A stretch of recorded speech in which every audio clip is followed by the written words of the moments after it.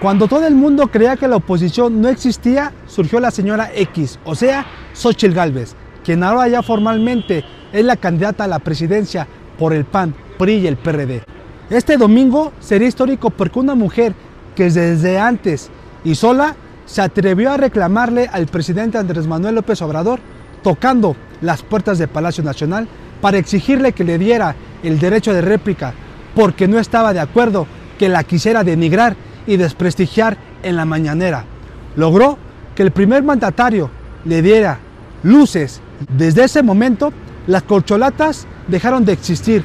Sí, me refiero a Claudia y a Marcelo, porque los demás nunca estuvieron.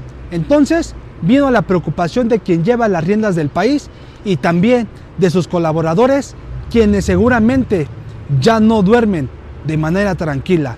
Tan solo de pensar que la mujer X les puede arrebatar la continuación de la presidencia a los morenos o a quienes creen en la 4T.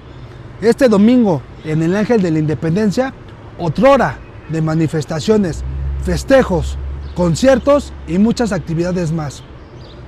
Será el escenario en donde Xochitl Gálvez realiza un discurso prometedor para el pueblo de México, que ya está cansado de que el gobierno del poder se disculpe echando culpas a los gobiernos anteriores.